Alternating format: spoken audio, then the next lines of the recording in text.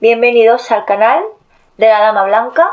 Hoy no es que quiera hacer fiesta de disfraces, no soy bucanera, no soy pirata y no, tampoco me quiero peinar, como podéis ver.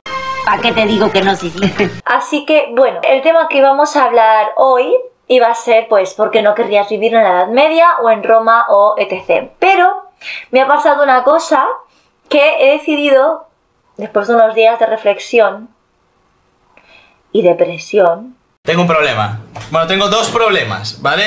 Bueno, tengo muchos problemas.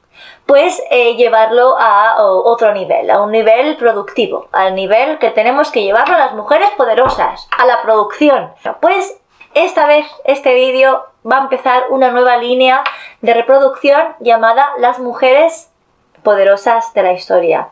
Ahí tenéis a la gata blanca haciendo su aparición destructiva. Eh, voy a empezar a llamarla demonio del infierno, Lilith, cualquier cosa porque me está sacando de quicio.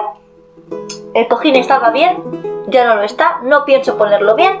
Vamos a dejar que la vida fluya y fluyamos con nuestra gata mágica. Javier, no puedo más, no puedo más. Soy la dama blanca, la gata blanca. Si te gusta el vídeo, dale al like, suscríbete y déjame algún comentario de lo que vamos a hablar hoy. Porque hoy, ¿eh? patrocinado por la parálisis de Bell, una parálisis que te deja la cara medio muerta, pues nos va a patrocinar este vídeo.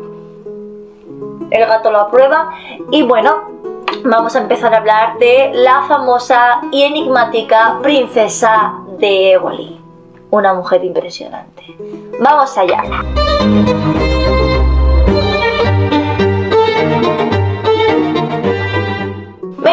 Julio de 1540... Nace Ana Mendoza, una mujer de gran belleza, una niña súper, súper bonita y de una gran familia. De hecho, de la unión de dos grandes familias. La familia y clan da Silva, con su madre Catalina, una mujer inteligente, una mujer culta, destacaba por su inteligencia, su don con las artes y demás, y de la familia del padre, Diego Hurtado de Mendoza. La familia Mendoza también súper, súper, mega eh, poderosa e importante. Uniendo así dos clanes nace una niña que será hija única y que nacerá con lo que ahora sería eh, las características de una mujer feminista, en el sentido de ni vestiditos, ni cocinitas, ni querer leer la Biblia, sino que ella lo que quería era la esgrima, pelearse a hostias. Hola. Me llamo Íñigo Montoya. Tú mataste a mi padre. Prepárate a morir. a espadazos, a estocadas. Le gustaban mucho los deportes en esa época llamados masculinos.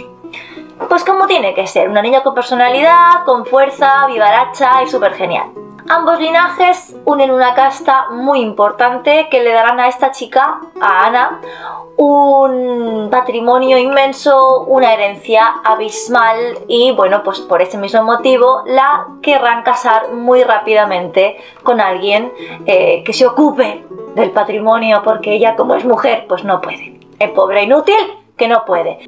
¿Me quieres ver la cara de estúpida?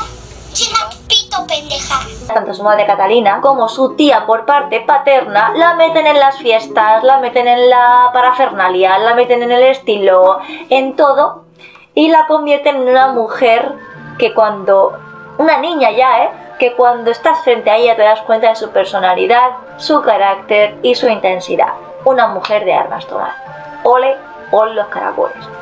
Su padre, el duque de Francavilla, primer príncipe de Mélito y virrey de Aragón, era un abierto mujeriego con lo que la madre y él tendrán peleas constante y reiteradamente, afectando emocionalmente a la niña, que crece en un ambiente de violencia y en un ambiente de discusión, hasta que el padre se le va la flapa y decide volar con la criada. Vuela, deja a la familia y abandona a Tutti Frutti, a todo el mundo y las deja solas. En parte, mira, ¿sabes qué te digo, tío? Mejor. Hasta luego Mari Carmen se va y las deja solas. La niña se cría con su tía y con su madre. A ratos van alternándose la crianza de la niña. Esta familia siempre estuvo ligada al rey Carlos I de España, quinto de Alemania, y sobre todo a su hijo Felipe II, que en fin, que ese señor un día le haré en algún vídeo suyo, porque me parece un egoísta que se aprovechaba de sus mujeres, que provocó la muerte de una al hacerla obligar a tener muchísimos bebés, porque que en esta época la mortandad infantil era abismal y se morían 15 mm, niños mm, de 20, por ejemplo, mm, la cosa estaba fastidiada. Pues este rey obligaba a sus mujeres a darle descendencia quickly, quickly, quickly.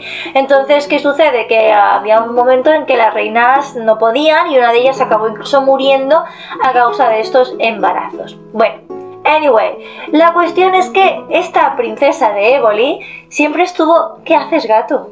estuvo retratada con este parche en el lógico por varias teorías. Una de ellas cuenta que tuvo un accidente con la esgrima y se le rajó el ojo, con lo que tuvo que ponerse el parche para siempre. Otra de estas dice que ensayando o jugando con un paje, el paje sin querer le dio una estocada en el ojo y también pues, se pone el parche.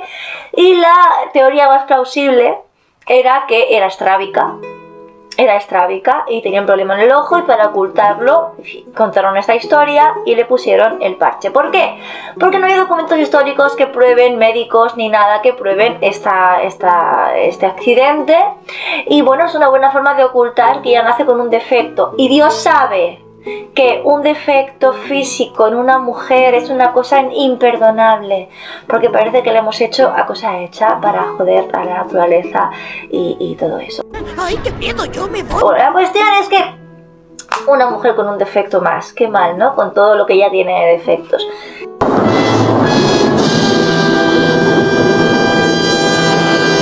Este accidente figura entre las teorías que se encuentran, que oye, puede ser, pero yo me inclino más a porque era estrábica y ya está.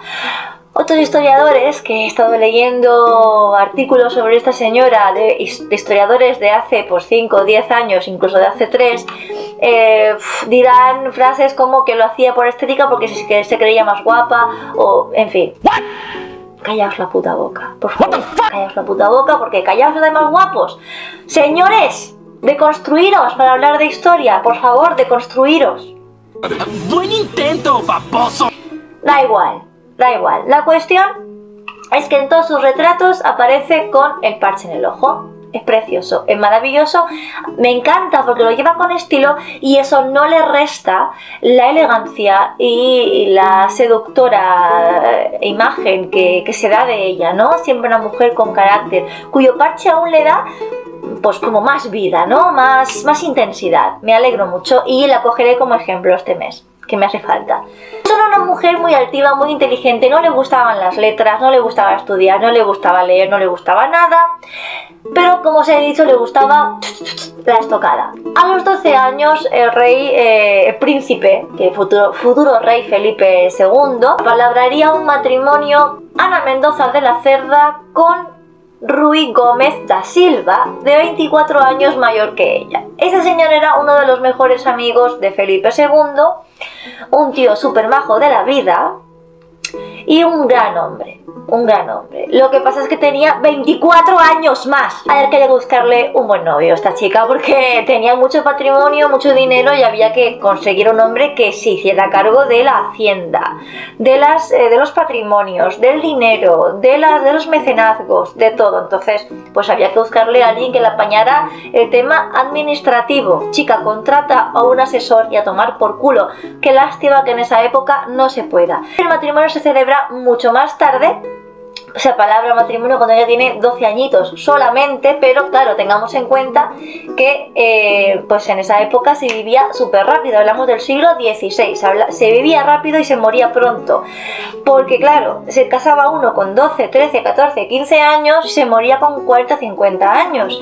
Así que chica, cásate rápido, ten un montón de bebés, se te mueren 5 o 6, tienes el resto y ya te mueres con 40, 50 años, ya considerada una señora mayor o un señor mayor porque también los hombres morían sobre esas edades. Así que pues en esa época se vivía con frenetismo y frenesí. El siglo XVI era un siglo de prisas. En fin, se me baja el top.